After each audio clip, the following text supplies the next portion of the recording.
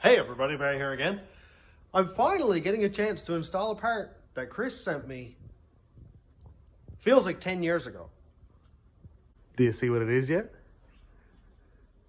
Do you see what it is yet? That's not supposed to be like that. There we go. Brand new unit. I just went ahead and installed the left-hand side to see how it works, make sure everything fits. Let's go put in the right side together. They're super easy to install. And thank you again, Chris, for sending me these fog lights that fits the Escalade front end. Makes it look way better. And I think it's gonna make the ride a lot better. I'll have them on all the time. I suppose we should start with part numbers because I like giving part numbers. Left side, which is driver, GM515-B000L. Right side, GM515-B000R. Pretty self-explanatory.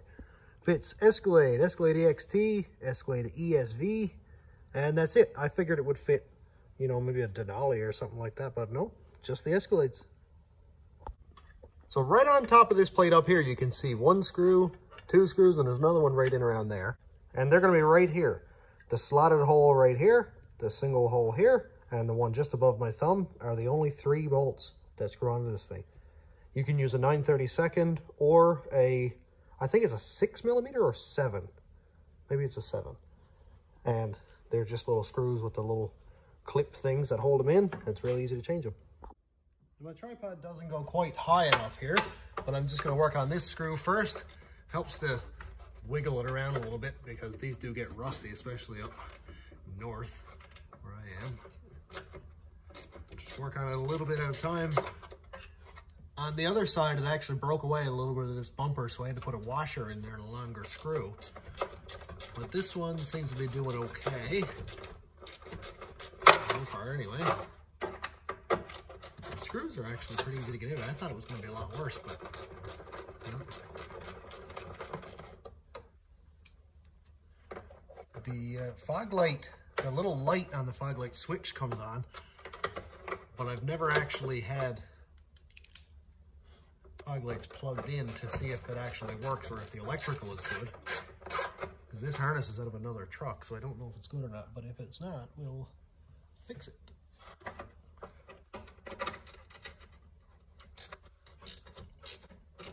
There's no real clear way I can see to put the camera up here, but I'm just gonna I'm just gonna hold the camera right here and see if we can get a little bit of a shot. Well, here's the other screw right there, and here's the second one I have to take off. Not a very easy place to see at all. So when I get these two screws out, we'll check back. Well, we can see I ran into a little bit of an issue, but it's not too serious. Just need to work this screw out just a little bit at a time.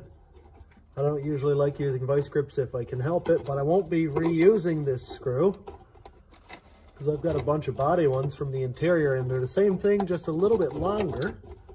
So this will work just fine. Look at that. And we're good to go. We'll just pull out this old one.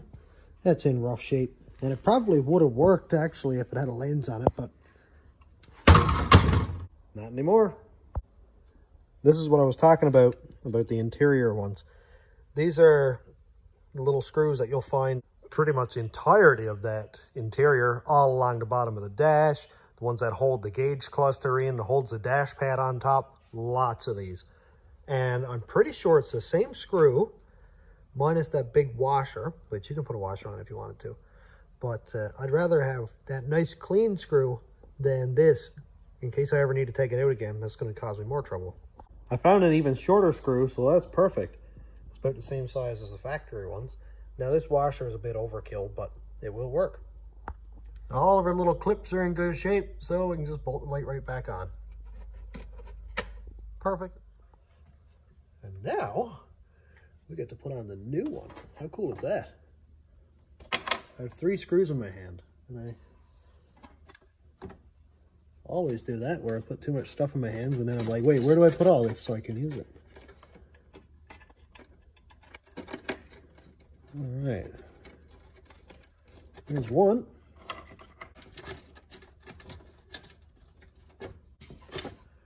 I'm hoping that it just plugs in and works. Nothing's done that for me so far, but I mean, there's always this time, right?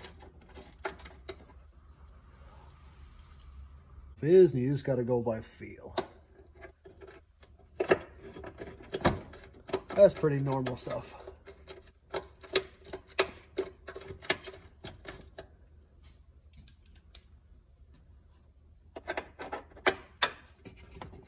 Okay, that looks good.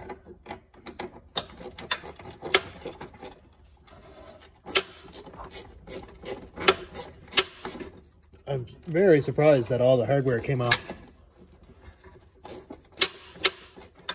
Usually all these little tiny clips and screws all strip out and break and no, it's the least rustiest part on this whole Escalade, I think.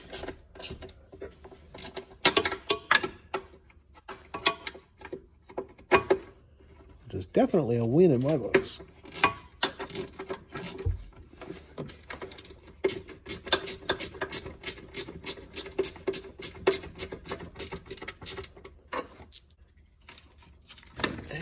Don't forget dielectric grease.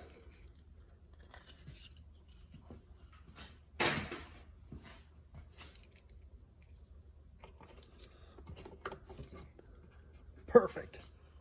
Let's go try them out. We got to get a look at it first, though. Oh, look how good it looks.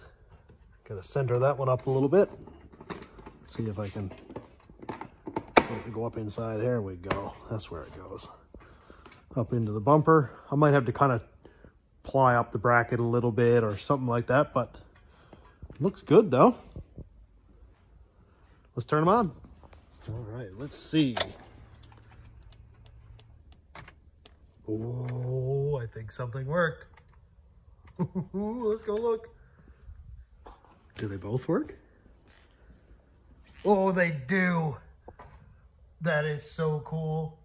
Let's go turn on the headlights because this thing has factory HIDs. And that is even super cooler. Oh, there they are. You gotta wait for the old things to warm up. There we go. That is so cool. Look at it ghosting from the HID on the screen. awesome. I have factory fog lights that work. I've never had one of these style trucks where the fog lights worked. Sick. Joey just mentioned I should put some LEDs in them. Like, hmm, maybe I should. But for now, they work awesome and it looks so cool. Something else I should probably do is polish up those headlight lenses. Man, I'm so excited to have new fog light lenses in this. Like, I don't even know why. Factory parts just make me so excited. That is so cool. So I'm all done. Thank you so much to Chris for sending those fog lights and being overly patient with me over the last year or so while I've been waiting to get this thing on the road to install the fog lights that he paid money for. So I'm all done for today. I know this video is far ahead of my regular weekly uploads, but I just wanted to get this one out right away. And don't look too far into turning the key and things working. That's, that'll come later. So thanks for checking out the channel. Thanks my YouTube members, patrons, and subscribers. If you want to check out my Patreon, it's patreon.com slash station road. My YouTube members link is down here. And thanks for watching. Have a great day, everybody.